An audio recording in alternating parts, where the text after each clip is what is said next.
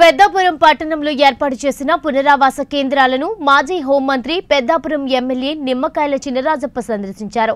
ఈ సందర్భంగా పునరావాస కేంద్రాల్లో ఆశ్రయం పొందుతున్న నిరాశ్రాయులను పరామర్శించి సౌకర్యాలపై ఆరా తీశారు.